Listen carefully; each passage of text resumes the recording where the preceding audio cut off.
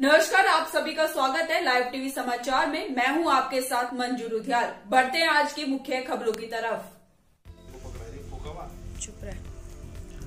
नूतन वर्ष के आगमन पर उदयपुर ग्राम में जरूरतमंद लोगों को मानव अधिकार सुरक्षा एवं स्वास्थ्य संगठन के तत्वाधान में शिविर लगाकर असहाय लोगों को गर्म कंबल एवं दवाएँ तथा मास्क वितरित किए गए, जिसमें लगभग एक सैकड़ा कंबल तथा तथा पिचहत्तर मरीजों को दवाओं का स्वास्थ्य परीक्षण कर दवाओं का वितरण किया गया एवं सभी लोगों को मास्क वितरण किए गए। इस अवसर पर संगठन के प्रांतीय अध्यक्ष डॉक्टर ए के जैन ने कहा कि नर सेवा ही नारायण सेवा है। मानव अधिकार सुरक्षा एवं स्वास्थ्य संगठन जिला इकाई द्वारा अब ग्रामीण क्षेत्रों में भी स्वास्थ्य शिविर का आयोजन करके मानव सेवा एवं जरूरतमंद लोगों को इस कंपाने वाली ठंड को देखते हुए कंबल का वितरण एवं जागरूकता शिविर लगाए जाएँगे। Bureau report.